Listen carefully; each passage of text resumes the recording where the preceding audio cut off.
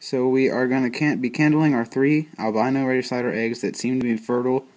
Uh, uh, that are the males, and uh, we candled this one the other day, and we saw some movement, and uh, we're trying to see if we can get it move on camera. But there's that little, you can see the veins on the outside of the eggs, but uh, if you see that little dark in the middle, that's actually the turtle growing, which is really strange because uh, it's it was only laid a month and three days ago, and typically you don't even start seeing it move until a week before they hatch. So I don't know what that means, but you can totally see it moving in the middle. And I haven't even tried the other ones because I wasn't trying to mess with them. But uh, I wanted to see if I was actually seeing it moving right, and I don't know if you can actually see it moving, but uh, I can definitely see it moving uh, now that I'm looking at the actual egg and not through the camera.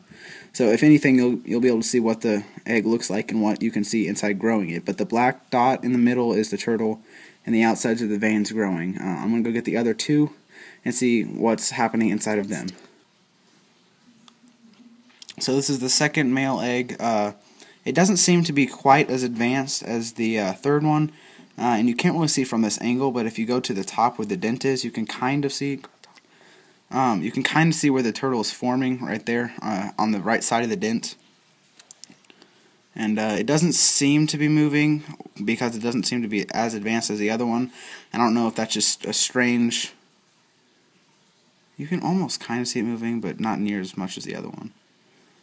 Yeah, there, there's a movement right there, but uh, try not to breathe because it moves when I breathe, but uh, or my hands move, not the turtle, but um, this is the second egg, and all three of these, like I said, are going to be male.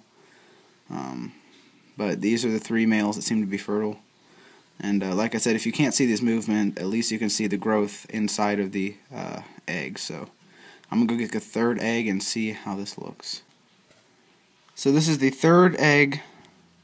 Um, you can really see where the turtle is beginning to uh, form. But uh, it doesn't seem to be moving quite as much as the other ones do. Uh, like I said, that first one I guess was just really advanced, but you can start to see where the turtle is about to form. Um, it actually looks to be that there's two spots where it's forming, but yeah, this is the third. Uh, I should be getting these to hatch here within the next month at least. If I have the dates wrong, that might be why that one is moving. And I might think that it's a lot younger than it actually is, but ooh, it's moving right there. Ooh. I think you got that on camera too. Um, but yeah, so these should be for sale for soon. Uh, if you're mess if you're interested, Let's you can visit my Facebook, and uh, if you wanted to arrange something, uh, you can just contact me through there. I'm sure we can work something out. But uh, okay, hold real still. These were the three eggs. So uh, I just want to show you guys this, and uh, yeah, hope you guys were interested in it. I don't see too many egg videos out there, to be honest, but. Looks like I'll be getting a couple babies in this year for sure. Anyways, uh, catch you guys later. I might be doing a tank setup, a filter setup, or even just an incubator setup, even though I've already showed you the eggs. But Okay, I got a good shot. Hold still. And this is very hard to get the lighting perfect so you can see what's inside the egg.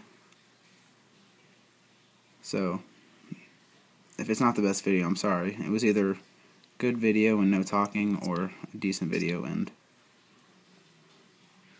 with talking. But uh, yeah, here's the video. I hope you guys enjoyed. Check out for other videos coming soon. But uh, I'll catch you guys later.